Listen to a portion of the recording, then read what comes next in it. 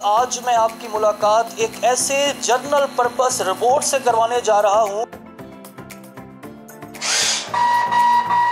ये मतलब 26 independent movements कर सकता है। रिपोर्ट के आने के बाद यार हम लोग किधर जाएँगे? अगर इमरान खान के साथ इसकी मुलाकात होती है तो उनके साथ काफ़ी कुछ ख्याल हैं रोबोट के अपने जो वो शायद उनके साथ शेयर करना चाहे। क्या ये भी कहने के काबिल होगा?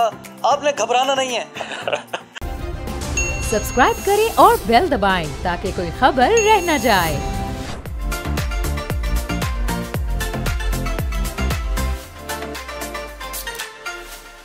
वालेकुम, बोल न्यूज़ के साथ मैं हूँ सैयद अली रजा। आज आपके लिए बहुत ही दिलचस्प स्टोरी लेकर हाजिर हुए हैं मसनू जहानत का कमाल। आज मैं आपकी मुलाकात एक ऐसे जर्नल पर्पस रिपोर्ट से करवाने जा रहा हूँ जो आपके लिए मज़ेदार पकवान भी तैयार करेगा। आपका रोज़ाना घर में इस्तकबाल भी करेगा, आपको हाय बाय भी करेगा। ये रिपोर्ट अगर पाकिस्तान के मुख्तलिफ़ शोबों में अपनी खिदमत दे तो इसकी खिदमत दुनिया भर में धूम मचा देंगी। इवन दैट के इस रिपोर्ट को बनाने वाले उसामा अज़ीज़ कहते हैं कि अगर वज़ीर आज़म हाउस में ये रिबोट काम करने के लिए जाए तो वहाँ पर ये ऐसे करप्शन फ्री प्रोग्राम करेगा कि देखने वाले वर्ता हैरत में मुबतला हो जाएँगे ये रिपोर्ट इस वक्त पाकिस्तान में जाजिब नज़र है और शायद दुनिया की नज़रें भी उसामा अज़ीज़ पर हैं।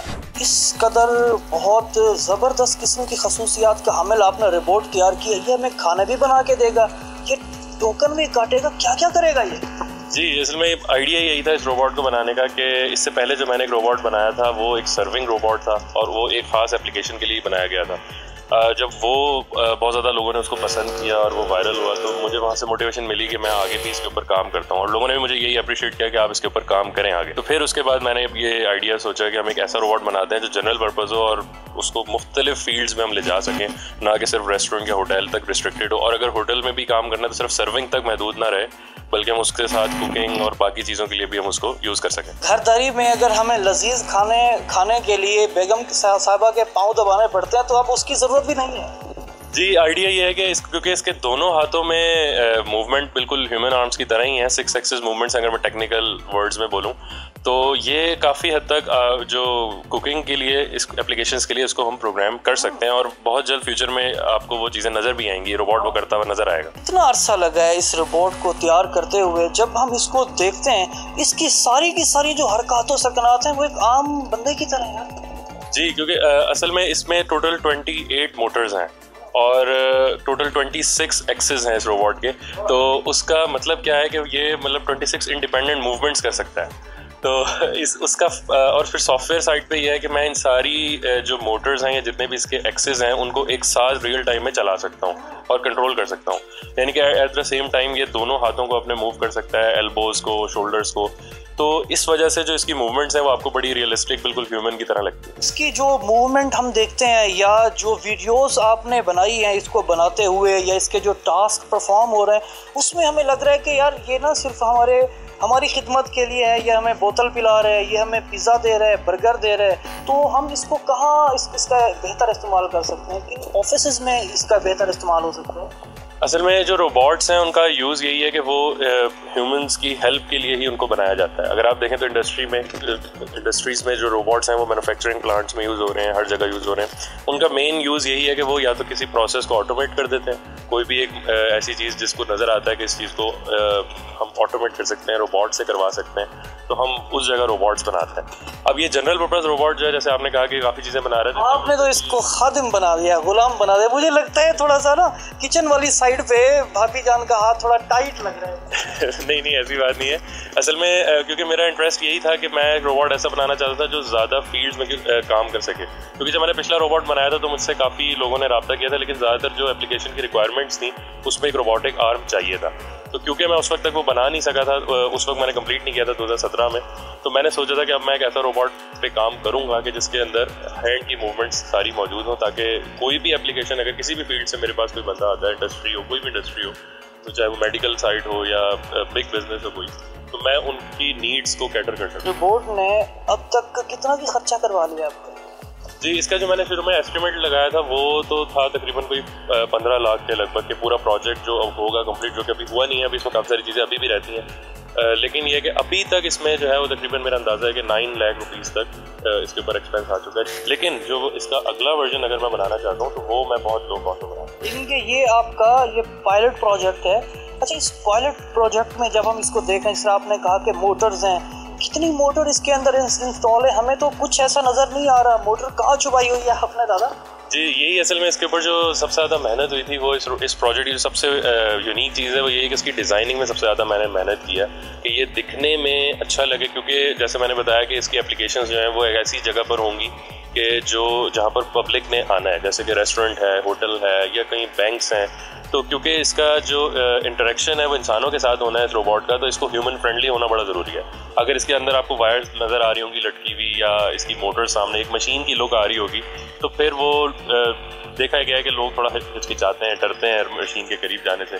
तो मैंने इसलिए इसको एज फ्रेंडली एज पॉसिबल और एक एज ह्यूमन एज पॉसिबल दिखाने की कोशिश की है ताकि ये एज ह्यूमन एज पॉसिबल दिखाने की कोशिश की आपने। यहाँ पर इसके स्पीकर लगे हुए हैं। हमें यहाँ पर आई थिंक कैमरा वैमरा भी नज़र आ रहा है। क्या इसमें कोई मेमोरी रिटर्न प्रोग्राम है? क्या इसकी यादाश्त है?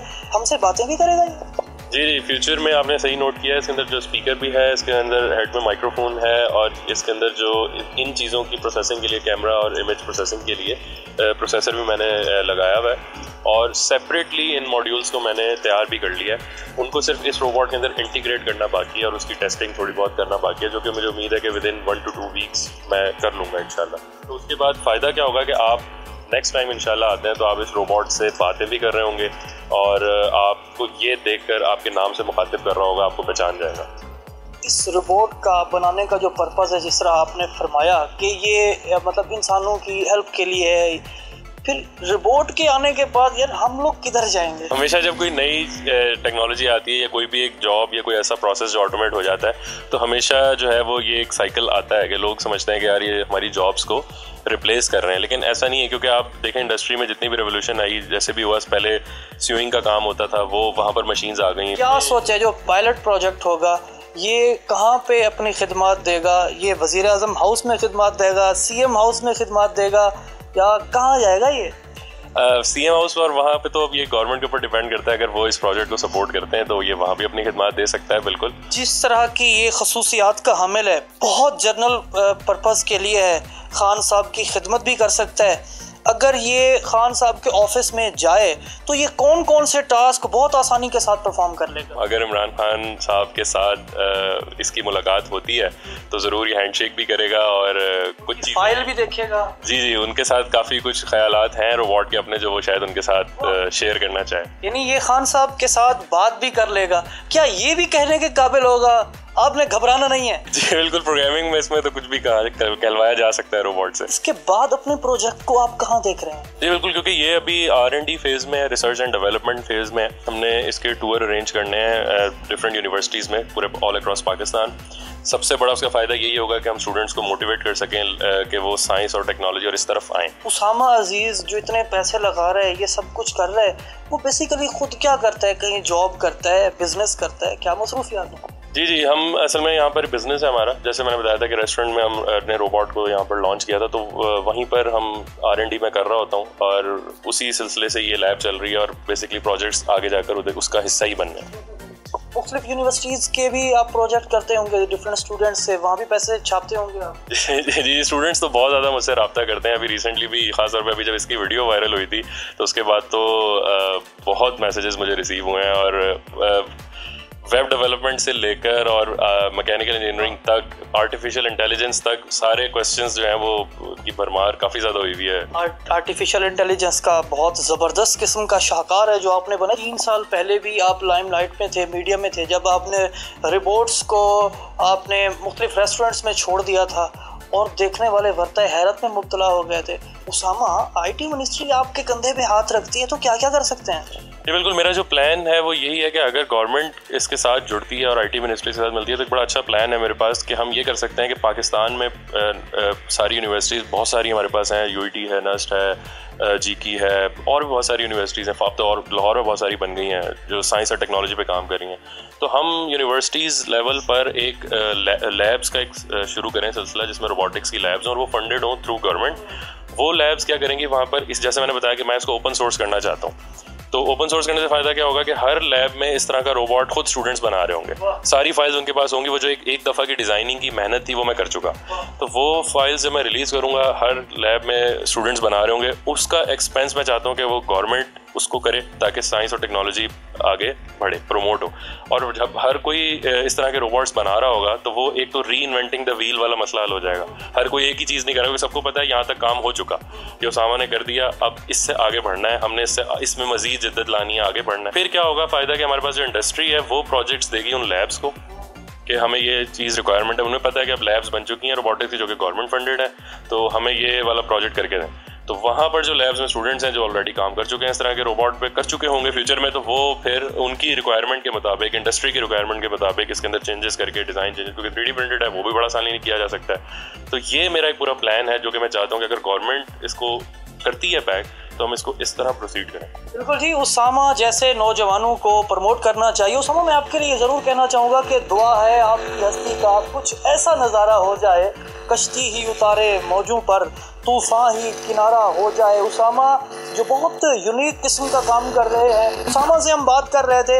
इन्होंने ये शाहकार बनाया है, जो इस वक्त कभी मुझे देख रहे हैं, कभी आपको देख रहे हैं। कभी उसामा की बातें सुन के ये दिली दिल में मुस्करा भी रहा होगा, लेकिन अब हमने इसका वो जो फ़ंक्शन है बोलने वाला, वो तो हमने स्विच किया हुआ ताकि ये कहीं हमें या आपको सुनने में कहीं कोई दिक्कत ना हो, परेशान ना करें। आपके आसपास अगर कोई ऐसी स्टोरी मौजूद है, या आपके अंदर कोई टैलेंट मौजूद है तो हमारे फेसबुक पेज बोल न्यूज़ पर हमसे रबता करें। मुझे दीजिए इजाज़त और देखते रहिए पाकिस्तान का number one news channel Bol news